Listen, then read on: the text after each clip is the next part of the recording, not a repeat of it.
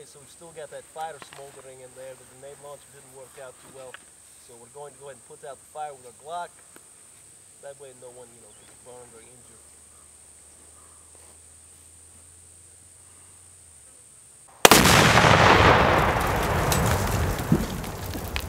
May have been standing a little bit too close because I noticed that the door of the car ended up over there. Yeah, that was a shrapnel.